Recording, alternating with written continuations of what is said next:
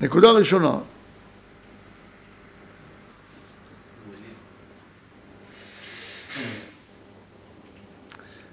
עולם אדם קדמון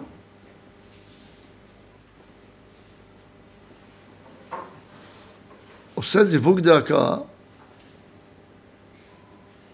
על קומת חוכמה כדי להאיר באצילות.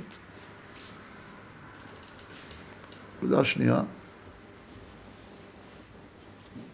אף על פי שאנו אומרים שעולם אצילות הוא קומת חוכמה,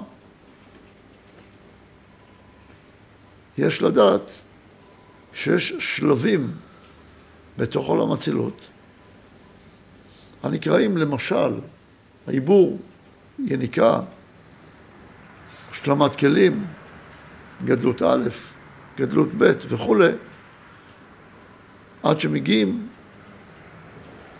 ליישם את קומת החוכמה.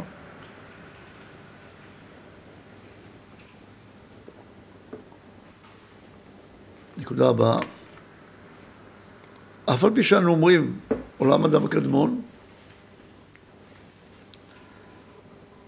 יש לדעת שיש בו ריבוי גדול של עולמות בתוכו, אף על פי שמתייחסים אליו כעולם אחד. זאת מכיוון שמדברים באופן כללי. נקודה הבאה.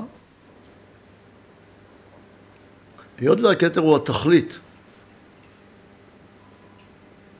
שניתן מהעליון,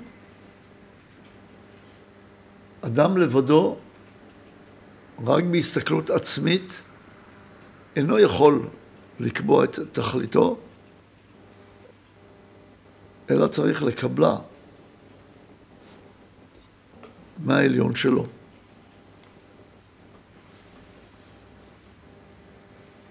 שאלות חזרה.